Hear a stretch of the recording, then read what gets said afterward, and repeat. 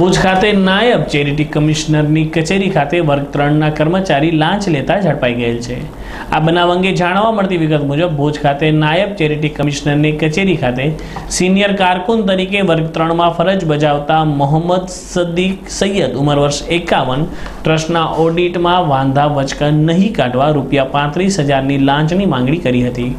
જે અંગે ફરિયાદીએ એસીબીનો સંપર્ક કર્યો હતો. આ અંગે એસીબીના સ્ટાફે ભુજ એસીબીના પીઆઈ શ્રી એમડી ઝાલાની આગેવાનીમાં આરોપીના ખાસરા મેદાન સામે આવેલ રહેણાંક મકાનમાં લાંચની રૂપિયા પાંત્રીસ હજારની રકમ સ્વીકારતા ઝડપી પાડી કાયદેસરની કાર્યવાહી કરેલ છે.